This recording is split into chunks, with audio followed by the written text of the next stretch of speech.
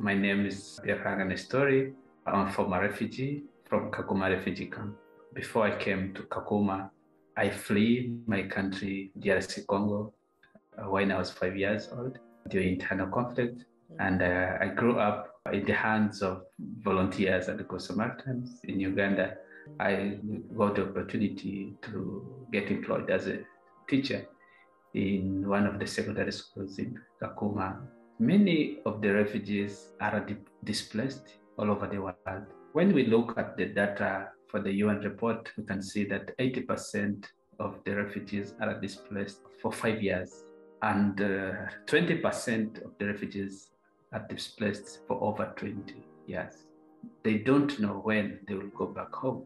And if they go home, they don't know there because they did grow there. Kakuma, talking about the education environment there, the challenges that we had first before technology was being introduced of lack of uh, textbooks, inadequate of teachers. When technology came, it really bridged a huge gap.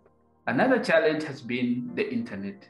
When Kolibri came in, it really tried to help to reduce the pressure. And having a platform where you not need internet, it's really so great.